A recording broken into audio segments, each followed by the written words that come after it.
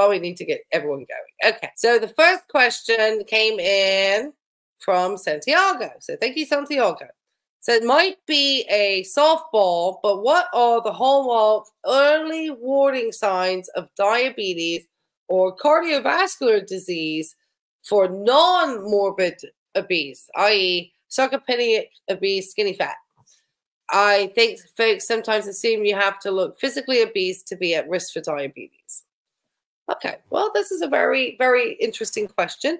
I think probably one of the biggest do get, it looks like these cases of very young men who look very thin, who eat very nutritionally poor diets, and they have not put weight on and they have a lot of that skinny fat going on. And so I think that is often again from poor diets, nutritionally low diets, and maybe they just have kind of the age factor that's keeping that metabolism a little bit higher and they just aren't putting the weight on. But potentially in the future if they continued to eat those diets they would become much heavier.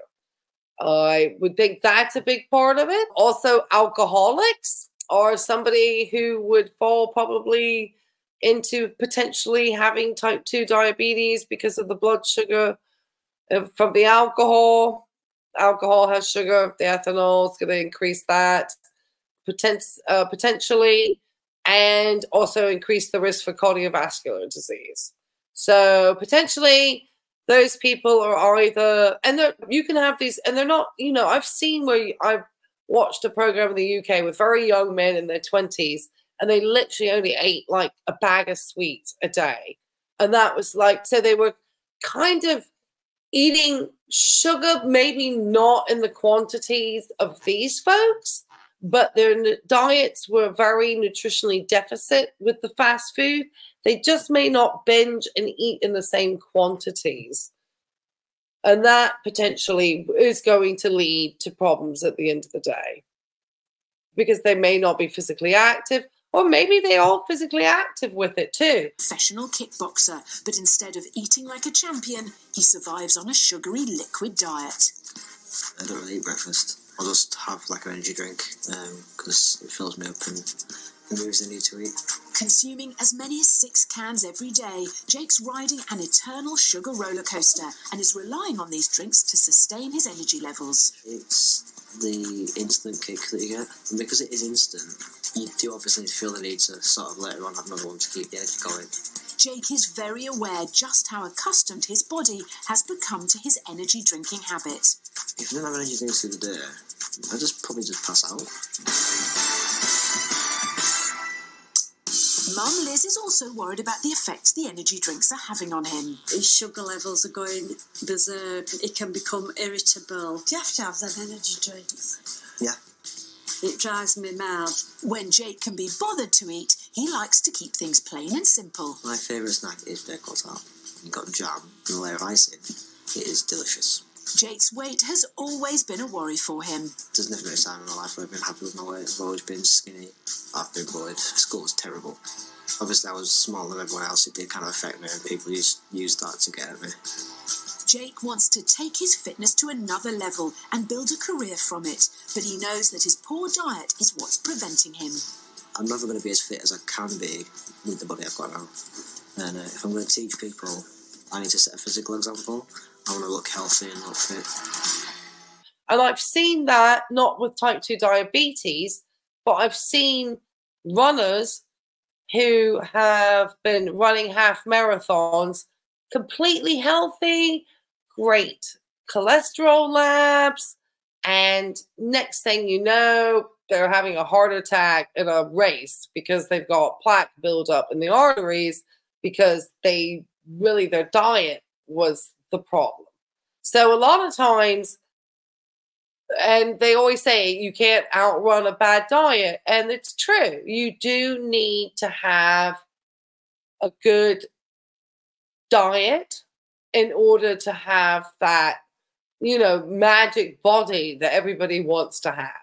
It really, and the pills and the magic teas and all of those things are probably going to lead you more to having a medical problem than actually having health.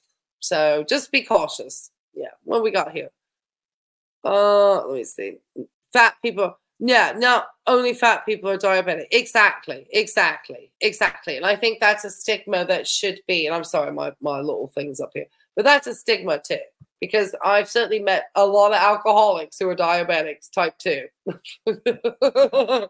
and uh, other people who have not and night shift workers. I mean, I had a moment where I was getting very concerned myself with my own blood sugars because I was starting to I was working night shifts. Uh, I was not getting great sleep in the day and my exercise was going down. It was hard because I was doing a lot of shifts too because we were short of staff. It's during COVID, and uh, yeah, it was hard. It was hard on the body, and so shift work sometimes can potentially lead to these types of problems. And they're doing more research into that. And unfortunately, a lot of us who work in healthcare have been affected by that shift work and there's a lot of other professions a lot of the emergency services oh my gosh emts police and then you've got factory workers uh, people at gas stations i mean there's so many people that work night jobs you know and in reality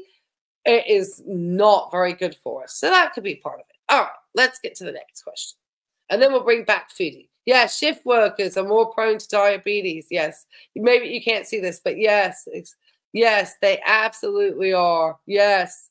So, yeah, that is just one of, you know, it is just unfortunate. And uh, we have to make money to live. It's not like we get a choice to not work, you know? Some of us in healthcare, there were times that people like the shift, the night shift more because it's quieter on the floor. It's a little less hectic. It's not so many docs around and trying to do orders and so forth. It's the pay. It's just you know not so much family coming through. So there's a lot of people that prefer the environment at night at the hospital, but it is very hard on the body. I've I've done quite a lot of night shift. I've never liked night shift. Oh, it's hard. It's hard. Yeah, it's tough. It's tough. Anyone who's done night shift out there knows. So thank you, Santiago. Okay, next question. All right. All right.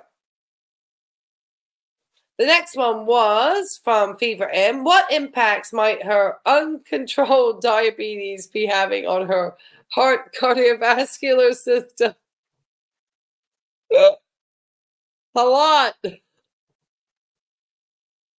I mean, where do I begin? I think I wrote a paper about this recently for school. I did the, I'm going to make this quick. And then we're going to bring a little bit more of foodie back, or we'll get one more question, bring a little bit more of foodie, and then we'll do a few more questions. And then we'll, we'll just keep going back and forth. But uh,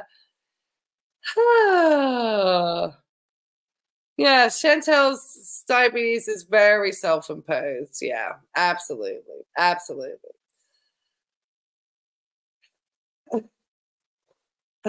Well, one thing with not controlling your diabetes, and we can go, we'll we'll get on, we'll keep continuing this conversation because I think we need to continue a conversation around diabetes.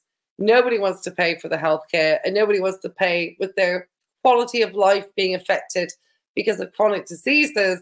That a lot of us have choices that we can make in order to try to make sure we have less potential of having these and minimizing the risk factors, I think, is the big thing. So, diabetes causes uh, microvascular tears.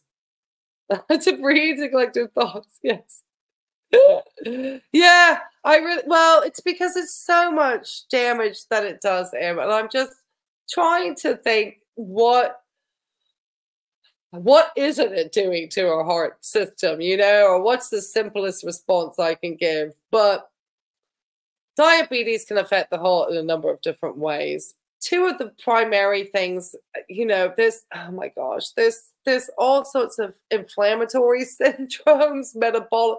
The biggest thing I think and this is where the heart goes and is what's known as metabolic syndrome. And I think we could probably talk about this a little bit. I don't want to get too much into the technicalities of all the health aspects. But metabolic syndrome is a big part that goes along with diabetes. And there is a whole group of different diseases like dyslipidemia, which is having problems with your cholesterol. So if you have ever had to be recommended to take a statin medication, then that could be dyslipidemia. There is also the inflammation that comes with it. There is the atherosclerotic, because the diabetes can also start to lead to plaque buildup in the heart arteries, which could then lead to potentials for a cardiac event, uh, including myocardial infarction, better known as a heart attack. Uh, there's also microvascular tears that are caused from the sugars being in the bloodstream, and that can cause all types of other issues uh, it's a lot. It has a lot of impact. So I guess at the sort of the long short of it, uh, there's the high possibility, and I think uh, Miss Cold Turkey will agree with me. Is the um, oh you catch the rest? Oh, that's it. I hope so. Yeah, no spicy catch it more. But yeah, yeah. There, the, um, I think there's um, they're still doing a lot of research into this as, as to what happens because obviously our body goes through certain important functions as we sleep, and we do have circadian rhythms that we are to follow. So obviously, if we're kind of going against nature, what processes that we go chemically that we're supposed to be going at night when it's dark and when we're sleeping that we're affecting when we're being up at night and kind of reversing that that cycle. And so there are some evidence that it could potentially, you know, lead to heart. And I did see that with my own blood sugar, which is why I stopped working nights because it was, and I, it was bad. Yeah, yeah, plaque buildup. Yeah, yeah. Oh, on and on. The plaque buildup, the the metabolic syndrome, the dyslipidemia, the it, the increased risk for for heart attacks. I mean, the list goes on and on. So, why we see so many patients with the heart and the diabetes that, that go hand in hand, which is why I'm so excited to get a diabetes educator because I love the heart and because we just we I used to call them all the time to get consultation with my heart patients. Uh, knowing that potentially the reason why they were getting the blockages into that cardiovascular system was also being from the patient having the diabetes as well. Your doctor told you you should be in the ER with those numbers. Oh, yes. Yeah. Yeah. Well, she's, she's, oh, the 2970 liver. Yeah, that's, she's not in a good place. Okay, next question. She's in a really bad place, man. All right, next question. All right, here we go. It says, is she just as much or more at risk? Uh, we kind of just talked about this. So these some of these questions we've kind of touched on, but we're just bringing them up because I think you can be for taking the time to stop into the community and leave your question for me. So it says, is she just as much or more at risk for heart attack and or stroke for her weight slash lifestyle as she is from her uncontrolled diabetes? Meaning seems she's fooled herself into a sense of security with her diabetes being managed, which it clearly isn't, but she fails to see her high risk for a heart attack and stroke. Yeah, I think Chantal pretty deluded. I think she's delulu. Is that the term? Is that what the kids are calling it nowadays? Delulu. Yeah, I think Chantal pretty delulu. Um, I. It's okay. So when you have oh, yeah more more yeah thank you. Yeah more than just that yeah. She so with all of the, the, the all the body systems work hand in hand together. So obviously with her she's probably who's who's knows the chicken and the egg with chantal what came first cardiac problems or diabetes? Probably cardiac because the blood pressure is usually the first thing that starts increasing with people most of the time. It's very rare to have. Um, I mean, it can happen. I have had diabetics with low blood pressure, but a lot of times they're medicated to be low, so it's hard to say. But I have had it. Well, I have had diabetics who've lost a significant amount of weight following a heart attack and have then had low blood pressure. but I think they might have still been on medications. So yeah, um, I would say. Well, see, the thing is, is diabetes is is is one of these chronic conditions that it would never be the reason why you would see it on like if somebody passed away. They would never say from unmanaged type 2 diabetes. There is going to be an event that's going to happen to another organ system, probably the heart. And then that heart could then have other potential problems, so, or the stroke, because the heart isn't working properly. So you have more potential of having uh, neurological issues or having um, kidney issues because the heart goes, and with maybe something like a heart attack, you can have an acute kidney injury, and that can take your kidneys down. Or if you start to have heart failure, which Chantal holding so much edema could potentially be showing signs of heart failure, and as well as just sort of fluid overload from the immense amounts of sodium that she consumes. But you know, kind of the problems with the heart and the sodium and the fluid overload, they kind of sometimes go hand in hand together. Um, so it's hard to kind of you know, this is like she's well, she's definitely been fooled into a sense of security because she's not managed her diabetes. And I doubt she's managing anything about her heart because she's not eating well enough and she's not doing enough physical activity. But it should be at least 30 minutes a day. And it doesn't have to be, it just can be a walk. It doesn't have to be anything crazy. You don't have to join an expensive gym.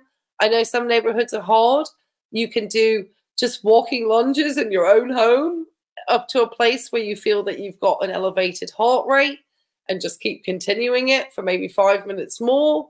Just, you know, you just want to kind of get your heart pumping. There's ways to use videos to get, you know, some imp, some cardiovascular. I would look, you know, for cardiovascular home exercises that just kind of focus on that heart muscle. But she's not doing anything.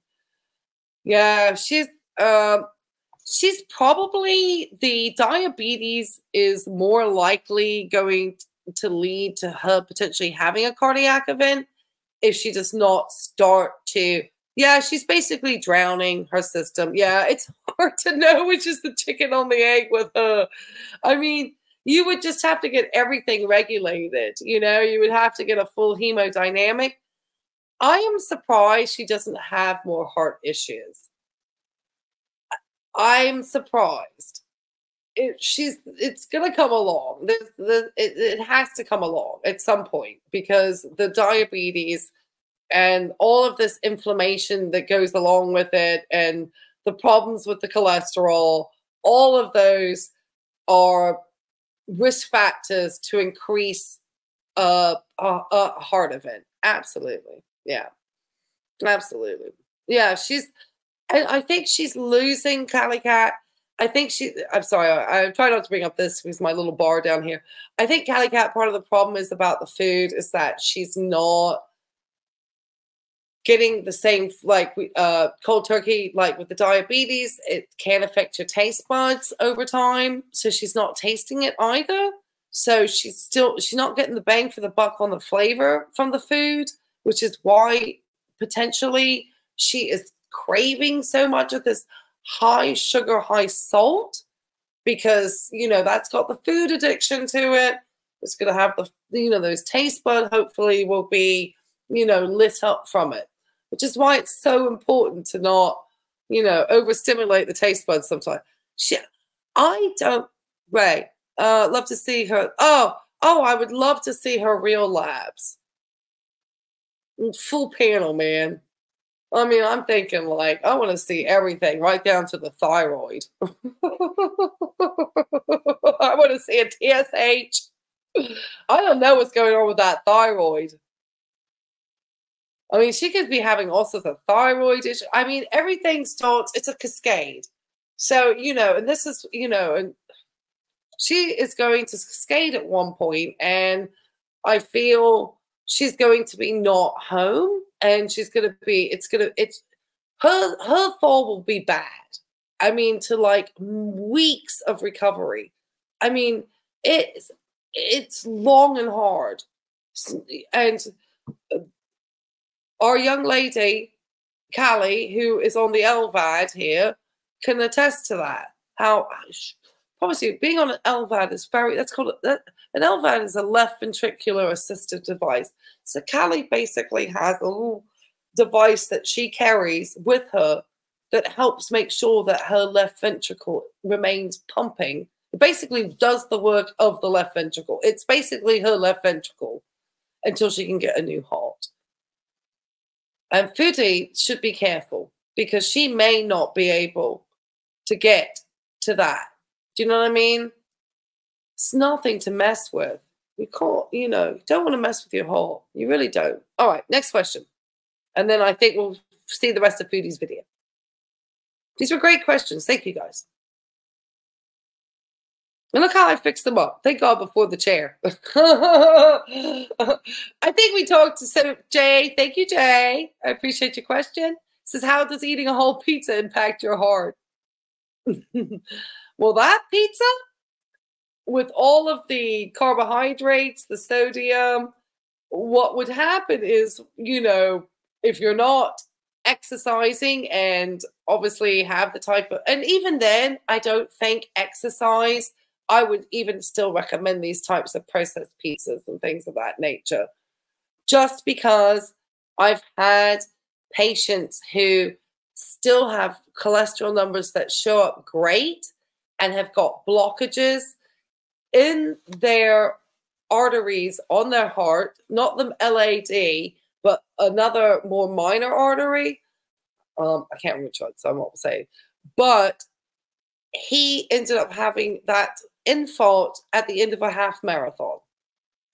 So the moral of that story, or the lesson of that story, is even somebody who was exercising and technically burning it away and was thin and was doing all and was in his 50s and was trim looking, had was not diabetic, like I said, great cholesterol numbers, had a heart attack. So they that's why it's so hard to know.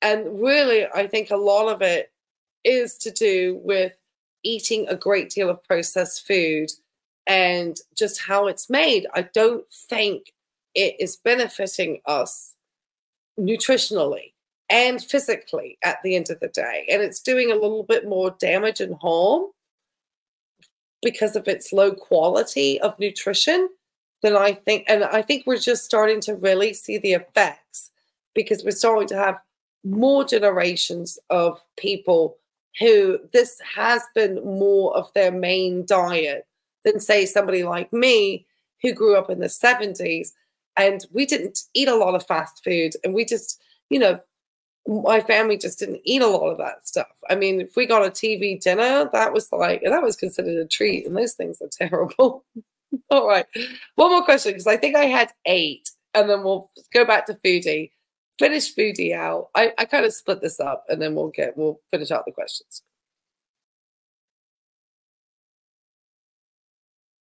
All right. So I'm not sure about this one. And maybe I don't know if if cold turkey knows um, if the thinning of the blood. She said her blood was thin. Is it possible she had a clot and they've put her on a blood thinner? Now, I've had questions because I'm not familiar, obviously, with Kuwait. I am familiar with, you know, traveling and understanding that if you're a tourist in a country, you're probably not going to be able, unless you're very wealthy and can afford concierge medical care, to have a primary care physician. I've had people drop me uh, comments that there's no way that you could be in Kuwait and have they would expect her to go back to Canada and have this managed by her doctor. I guess is what I'm trying to say. They would not just expect for her to um, be coming to them for long term management. These are chronic conditions, uh, even things that would have you on blood thinners, uh, clot, unless, unless I said it's the NSAIDs. Right. And that's worrying me too. Um, you think it's the NSAIDs, Ashley?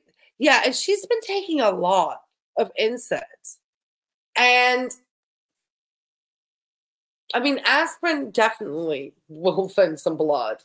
Um, I'm not sure about the others. I do know they can cause for for obviously more pro, uh, proneness for bleeding, and why we don't recommend patients who are cardiac patients to ever take NSAIDs. So, acetaminophen up to 3,200 milligrams a day, and that's it and not even taking it, you know, that that's it. We will never recommend somebody with a heart condition to take an NSAID. So that's why I'm surprised that she talks about taking a non-steroid anti-inflammatory because I would think if she has any displays of the cardiac, which she looks like she's getting really edematous now, which is kind of kind of a cardiac sign. I hate to say it. Um, I would just, you know, I wouldn't have her on the NSAIDs. That's for sure. And the liver too. Yes, because I think they are metabolized. I'd have to check, but I think majority are metabolized through the liver. And I think that's probably part of the problem. And I think that's where the aspirin works for the thinning of the blood because the liver is where all the blood is. Um, so the blood, red blood cells, obviously out of the liver, produced out of the liver. So, as well as your uh, bone marrow. So, but they get cleansed out or taken care of through the liver. and uh, yes, the NSAID, yes, that liver. Yeah, and they call it a different name now. It's not fatty liver. They're calling it MEFED or MEFAD. Or, there's a new acronym for it because it's got all sorts of. Yeah, she went to the thrombo clinic weekly. I wouldn't be shocked. I mean, the girl's been flying around a lot lately. And I wouldn't be surprised if she had not had some type of issue, but I can't imagine them treating it chronically. Oh, I mean, like long term. Yeah. Yeah. I would need to know. We would need to know in reality every type of medication she really was taking in order to really know what would be causing that blood thinner. She doesn't even know the name of the NSAID. She just says it's not that one. And I'm just like, how do you not have the bottle in your hand and just read the bottle? it's like, I mean, there's so many things that could be potentially done by Foodie? You're on the Proxen? Okay. You've been retaining fluid? Well, I would definitely take a look at that. I would let if if if somebody's prescribed that, I would certainly let them know that you're having that potential um, side effect, just to make sure that they're okay with you remaining on the Proxen. Or you know, Another way is you just weigh yourself every day. And uh, if you go up three to five pounds suddenly with a heart failure patient, that's a sign that that's not good. but I don't want to get into the water weight. Gosh, that water weight, wild. Okay, let's get back to foodie. So yeah.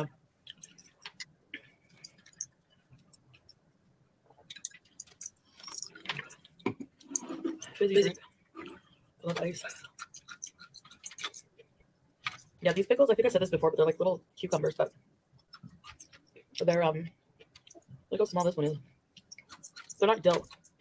They're tarragon. Oh, here we go. Oh, so this is this is perfect because we got a question about this, and we'll finish it up because I know everyone wants to get about this. Okay, so actually, this is great because this is the question that came in. and it says, and yeah, I RGB. I you know I worked in hospice for quite some time, and I I do get concerned about her levels of energy and her lack of true medical care and what can eventually happen, and her apathy at the moment.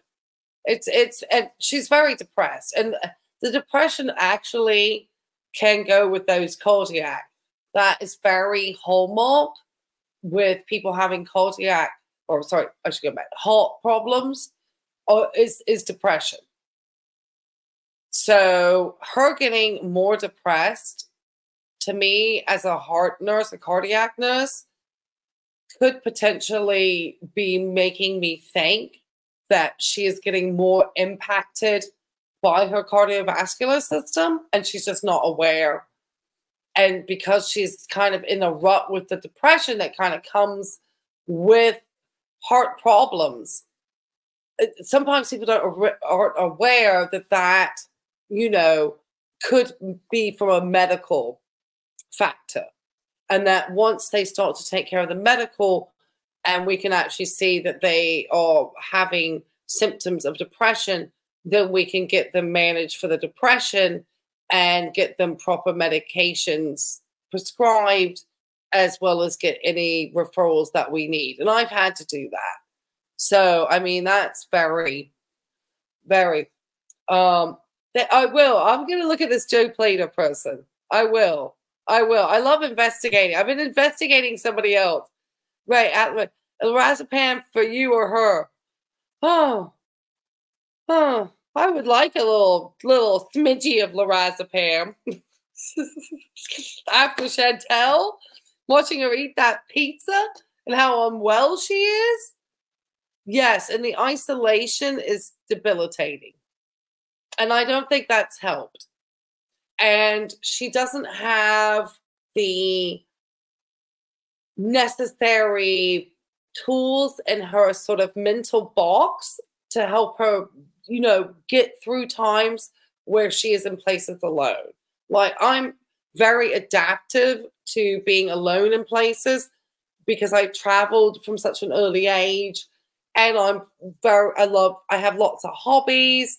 I'm very comfortable eating out in places alone, joining gyms, joining clubs, meeting people, you know, having people invite me to dinner, going, you know, so I will just make friends with whatever new town I'm in, you know, and I will seek out others with similar hobbies and try to get to know. I'm not going to be in everybody's business all the time, but I'm certainly going to make sure that I'm active. And, you know, just today alone, like I said, I had been with a friend of mine and her daughter with our dogs and at the puppy park. We're out there for a while. And, you know, I've just been busy. Now I'm here. I've just been busy all day. And I can't imagine being with, you know, she can say all she wants about the husband, but in reality, we really know he's not there as a support that she truly needs with facing so many medical issues and problems. Okay. Yeah. Yeah. She would, oh, yeah. I, oh gosh, she would definitely be on the, you know, absolutely. She'd be majorly referred to uh, mental health at this time just because of the non-compliance too. Um, trying to help her understand why maybe she's not compliant. But and that's where the mental health aspect would come in here. So let's read this question real quick. Delve into non-compliant patients, even in the hospital. All we can do is chart notify doctors. Okay, so this is coming from a healthcare professional. I love it. We cannot make someone do something they won't do, such as a waste, such a waste of resources, get in the hospital, they eat their three meals, then at night order out. Oh gosh. Pizza, wings, sandwiches, donuts, and sweet drinks. Just ridiculous. Yes. How many of us have seen patients in the hospitals, families bring in full feasts of meals, you know, because they want to bring them comfort foods while they're in the hospital or things they like to eat because they don't want to eat the hospital food. Yeah. Um, we just have to kind of hope that we can keep educating patients and families and involve families and those who are uh, support systems for the patient and trying to continue to educate. I think education is the biggest piece that we have to try to do. I think when people can understand why it's important for them to do something for their health, for their body, then that becomes easier if you're not dealing with mental health. And that's a whole other piece that I think is the part where non-compliance happens. That is where you're dealing with very distinct, very, you know, documented personality types that have histories of non-compliance. Then you're going to have to try to get mental health in there. Then you may never get the patient to comply. And so you're just going to have, sadly, a patient whose health and even potentially mental health will deteriorate because they just are unable to get the resources because it's just it's just it is very hard it's really hard it's very hard to see those patients it's sad um and all you can do is like i said put them in front of the resources try to educate try to do it that way and you know just kind of keep, you know, doing it. It's frustrating to have to watch them eat these foods, but, you know, they are adults, they are people who have choices. We're not holding them prisoner in the hospitals. Uh, we can only, you know, hope they would make better choices. Um, fortunately, because we are getting so good with medicine and able to have very sick people be kept alive in some ways, then it allows people to feel like I think they have a little leeway to not always. And it's not that you have to be super strict. I promise you, I'm going to have a cookie in a minute. I got these little low sugar almond cookies, and they're so good.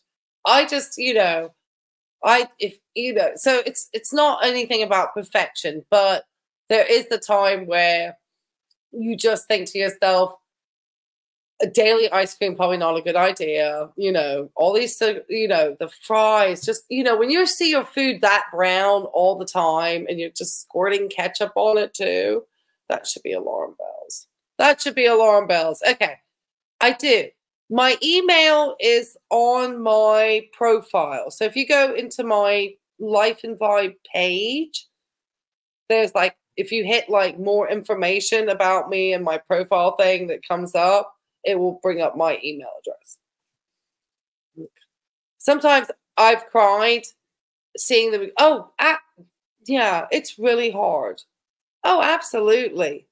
Absolutely. When you have patients and you know they are still doing harm to themselves and you can't get them to change things and you can't go to their home, yeah, you it's it's hard. It, I don't think that it does impact us as healthcare workers. It really does. All right. So, yeah. Yeah. It's really hard. I had a family, a guy who got stented one day, and his family brought him in like Hardee's, like egg sausage biscuits, like right after a cardiac stent. And the cardiologist was not happy. Please don't do this when you go to the hospital. I mean, I understand, but it's just wild. It's wild. And we see it all the time. All right, what's next? Ah, this was a great one. Oh, I love this question. Sherbert Dip Dab obviously was thinking about Foodie and her her eyes lighting up on Dilaudid. oh, you had a family deliver deliver donuts to a patient? Oh, well, you know, I did. Nightbot was offended. Oh, so Nightbot's in it. Oh, yeah, that's great. Yeah. I always love it when they bring us the donuts too. it's like uh, my patients would always bring us like donuts and cookies. I'm thinking I'm working in a cardiac rehab. Bring me some fruit, please. Why are you always bringing me this unhealthy stuff? please don't do that to me. Bring me bags of nuts. And they started to do stuff like that for me because I knew that's what I preferred. I really did not need to have. And I used to, Oh my gosh. I used to work with some, and they're supposedly, I saw this, and I may have to delve into this. Supposedly, there are some very scary nurses eating some really bad food on TikTok. And I've worked with these nurses. They are very unhealthy, I tell you. They are not in good shape. I promise you. We have we have wheelchaired these nurses to the ER because they've had a cardiac event on the floor. So don't think that these nurses, some of these nurses, they don't follow the their the the I don't know what the mentality is on that, but there's plenty of them that do. All right, what are the telltale signs a patient is shopping for meds, painkillers, and how is it usually dealt with as a professional? Okay. So this is always very difficult. Luckily, the doctors are the ones who are the prescribing person for these medications or a PA or an NP. And so there are very strict guidelines about when and how controlled narcotics are prescribed. And uh, one of the telltale signs is usually exaggerated pain without really having a known cause for it. So the you know the back pain but you know you're not really seeing any inflammation you're not seeing a bulging disc you know certain you know signs of that type of behavior um again uh so that's probably one of the biggest ones the exaggerated complaints of pain uh, without a known cause or source of the pain having oh they're promoting body positivity?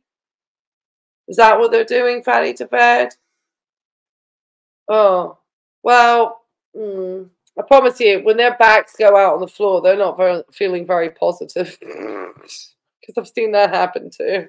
They don't, we, nobody, you know what? When promise you, when they're having to do a 12, 13 hour shift, they're not feeling very positive by the end of that. It's going to wear you out. Uh, yeah, they don't have a lot of energy on the floor sometimes. So yeah, um, I think now there's so many things that would stop somebody from getting the medications that the if you come to the ER and try to get the pain medications now, they're probably going to tell you to get in touch with your primary care. You're not likely to get in the United States prescribed any strong pain medication just going in with pain like they used to.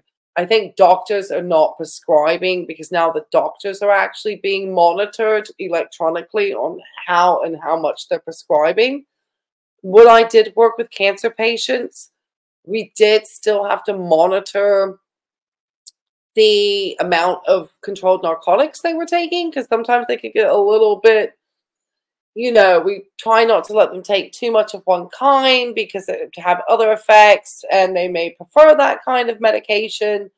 And that can be challenging i think because the patient is sick um, but they're still wanting those pain medications. So it's definitely a delicate conversation. Definitely one you have to, I think, approach though very sternly and, and not sternly, but you have to be direct with the patient and the family. So it's not something you're going to skirt around the topic. You're going to, you know, directly say, our concern is that you are not taking the medications prescribed at this time as they were prescribed. And so we will be unable to continue or we will not be able to refill them at this time and will not be able to refill them until they are due to be prescribed. You know, um, we did have one case where I had a young man who had sickle cell disease, which has a lot of pain involved with it. He was prescribed uh, like hydromorphone or oxycodone or one of these, I think, medications. He was not getting, I guess, enough bang for his buck. And so he was selling those on the street. And then he would come in and, uh, you know, he was then taking the money from selling the drugs and going to a, a, a house, you know, to do um, C R A C K instead. And so I did have to one day, his uh, doctor was concerned and his girlfriend had reported it. And so when he came to see us one day, because he would, they, a lot of times you have, they, they will have more than one provider. Let's put it that way. They will often have more than one provider. And so he came in and I had to do a urine drug screen on him straight away. And I just said, I'm sorry, I'm going to have to do a urine drug screen. Yeah. And he popped positive for cocaine. So we unfortunately had to cut him off as controlled narcotics at that point. So if you are prescribed any pain medication here in the United States, I don't know if it's the same in Canada or elsewhere, and you are suspected of doing any uh, street drugs and they bring you in to do a urine drug analysis and you pop positive, they will take your pain medications away. So there's a lot more regulation, um, but being professional and direct, I think, is uh, probably the best way. I've had patients get real, real feisty and with medications in the hospital. It's, yeah, most chart. Yeah, smart. They'll go out of town. Yeah, I mean they'll do all sorts of stuff. I mean it's wild here in the United States because it's a pretty big system, and I think they have like a controlled narcotic registry.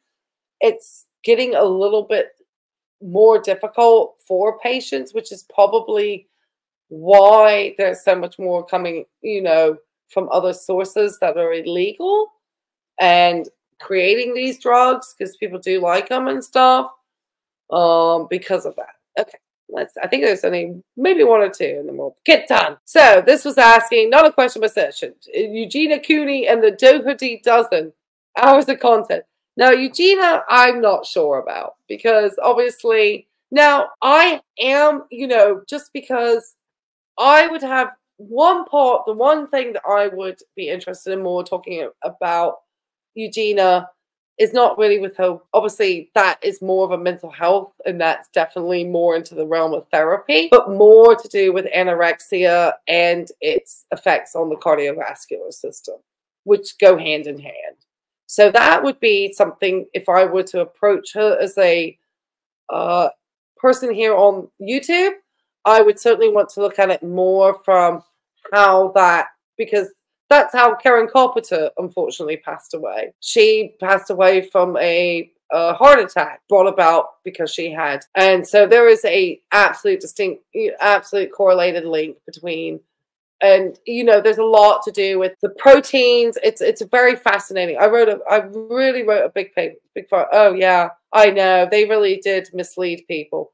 But but some fascinating. It was all a lot in virginia too where i'm at the doctors in virginia because you know they were they were misled too by those pharmaceutical companies that that was going to help people with their chronic pain and they started to kind of bring it into the orthopedic now, for cancer patients, it is, it is a lifeline for them at end stage cancer.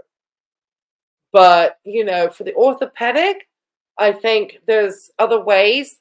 And surprisingly, I think, and I've been hearing more and more talk about this on the doctor's radio. I heard a really, uh, everyone knows I love the doctor's radio.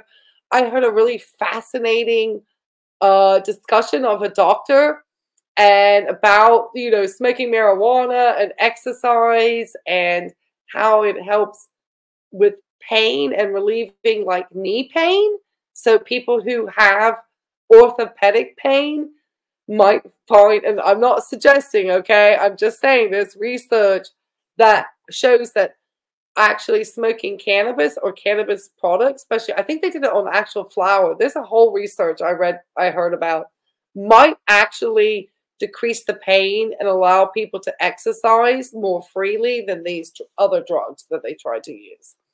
Uh, the Dougherty dozen, I heard they eat a lot of junk food. So I'm not familiar with them. I'm always, it's a, like watching a crime being committed. Oh no.